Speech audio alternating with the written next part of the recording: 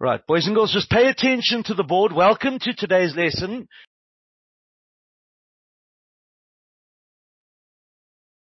If you look over here, I'm going to show you how to share files. If you go to that little green part, you'll see it shows you how to share an activity on a blog. So we're going to just show you how to do that. It's on that little green world. I did show you how to do this before, so I'm just going to give you some understanding of how it's done. So you look over here, we've got a whole lot of different blogs. You can see that one is the Bryneven's stories where you guys can publish a story. Just watch very carefully. Bryneven. That one is the art blog. Then we've got Bryneven games where you guys can publish your games. And I did show you that as well. I did promise you I'd show you how to publish it on a website. So I'm going to show you that just now. Bryneven art is over there. If I click on it, it's opening the blogs. Now everyone's got access to this blog and you can see Ayan is the first person over there. And you've got a whole lot of different art pieces that are shown on this blog. Let's have a look at some of them. Look at this one. This has got that beautiful running paint effect.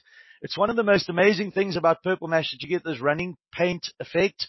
And you can see there it is. And look over here. I could write a comment.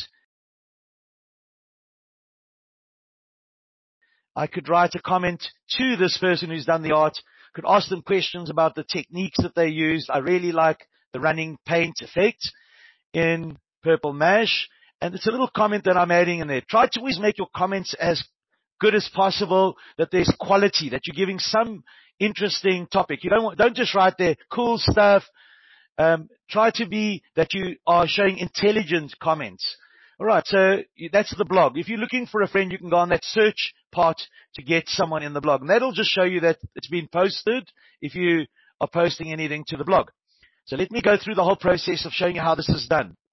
I'm going to go to my work. So if you see here, I've got a piece of artwork. It's called sample picture and I'm going to open that by clicking on that button over there.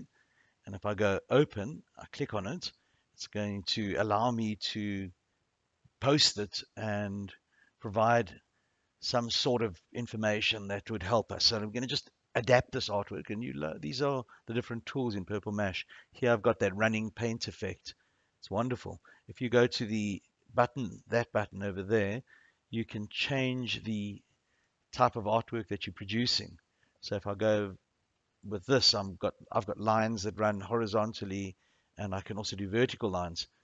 Click on that and let's go with pointism. Delacroix was the famous pointist artist. When computer screens also lots of little dots called pixels. So we see DPI means dots per inch. Your computer screen has got a certain amount of pixels that make up the, the, the screen. So you can see here I'm painting with these little dots all over the, the way like a pointist artist. And that's called polymosaic, which gives an almost collage types type of effect and you can paint with all these different effects to produce some interesting artwork. There you've got these little pieces that are being stuck on top. If you want to share, you first need to save. So you're going to click on that world and then you're going to name your file accordingly. You're going to give it an appropriate name. So I'll just call it example work. Go to save and it's now being saved. I'll just put it into the blog section because that's where I want to share it with other members of our school. So I'm going to look for the artwork, the art blog, and you can see it's distinct in the sense that it's this Easter egg. So Bryneven Art, and it gives me the title. That's the name of my picture. Try to be as descriptive as you can. The this is an example, but you'll try to be thoughtful about the art that you produce.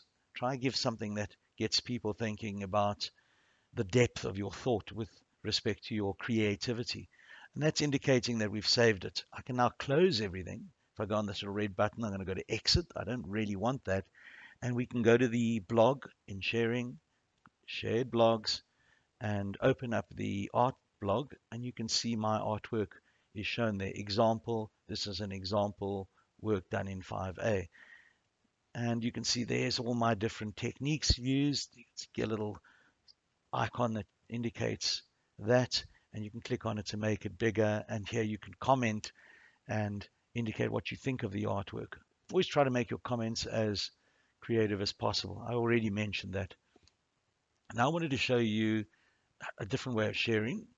Okay, we just to go back, we've got the blogs. The blogs is the way of sharing, but now we're going to go to a website sharing, a way of sharing this to a website.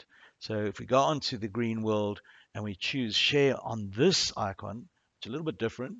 We're going to look for the embed code. The embed code is going to allow us to embed our picture in a website. So we're going to click on that embed code and look, it says iframe. And you can see that little bit of code, you just copy it. And once you've copied it, you can bring it into your website. So just copy that. Let me just show you how that's done. I'm going to go to my Google Drive. I've got a Google Drive. Anyone who's got a Google account can make a Google site. So we're going to make that in Google Drive. Do ask your mom and dad permission to be able to do this. So we're going to use Google Sites to embed our code and put our artwork in a web page. So we're opening up our Google Drive and I'm going to show you in a moment how to access Google Sites, which is the place that you make websites. And you can feed in all your games or your artwork or anything from Purple Mash or most things. You can go to More, and if you go across here, you'll see it says Google Sites. And when you click on that, it's going to give you a template to make your website. Very simple website. It's giving you a template. It's going to allow you to embed your embed code within the website. And here's your page, your page title. I'm just going with grade 5 example because this video feed is from the grade 5 video and it's a little bit more informative because we're dealing with grade 6 and we go to the embed code over there, click on it and you'll see you can then post it. Now, I just want to go over this again. So embed, you select your embed code. Make sure you select everything. So I select everything, copy it, and then go to your Google Sites and where it says embed code, it's got to go in there. So I click on that little, and I'm going to edit it. Just take all of that, put my embed code, and you'll see my site should be shown over here. There's my artwork. It's very small. I think that Purple Mash has by default made it for a cell phone. So you see my artwork looks a little bit smaller, and that's probably because Purple Mash would have that uh, people using a cell phone would be able to see it. And if you want to change the size of your artwork or your game for PC viewing, then you could you could go through a process. But here's where you would publish your site on that button over there, and it'll give you a URL or a address of your website. But if you go on that, you're going to preview what our site would look like, and you can see it looks like this. And if you look over here on the right hand side, you'll see it's showing the different aspects.